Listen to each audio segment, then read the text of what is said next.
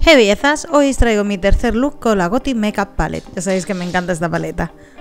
Como siempre comenzamos aplicando un primer para que la duración de nuestro maquillaje sea lo más larga posible y con la sombra de Odor Par voy a aplicarla por la cuenca del ojo y la voy a difuminar un poquito en general por todo el ojo. Con la sombra On Point, que es un tono vainilla, le voy a dar un toque al arco de la ceja.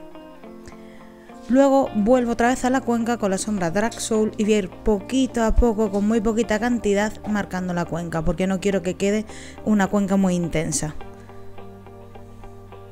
Con la sombra Fighter voy a aplicarla por todo el párpado móvil y voy a subirlo un poquito al párpado fijo. Como veis a toquecitos y prensándola para que quede bien fijada. Y para darle un toque especial voy a utilizar la sombra Miss Nothing en el centro del párpado. En la parte inferior del ojo voy a utilizar otra vez la sombra Drag Soul, pero dejando marcado solo la parte final del ojo. Y en el centro vuelvo con Miss Nothing. Delineado, porque parece que últimamente no puedo hacer un look sin un delineado.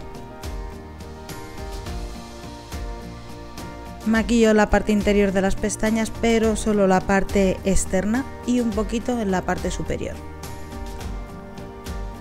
máscara de pestañas tanto arriba como abajo. Y voy a pasar directamente a los labios, por lo tanto tenéis todos los productos en la caja de información. Aquí estoy delineándome los labios con el labial Night Month. Este delineador es de MAC, pero seguro que tenéis muchos parecidos. Ahora utilizo el labial fijo Exorcism de Kat Von D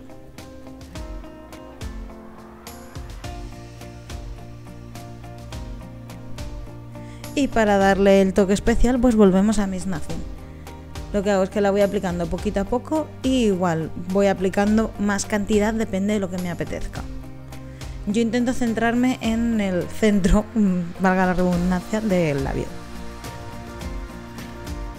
Hasta aquí el look, os vuelvo a recordar que tenéis todo en la cajita de información y los looks anteriores que hice también. Un besito, chao.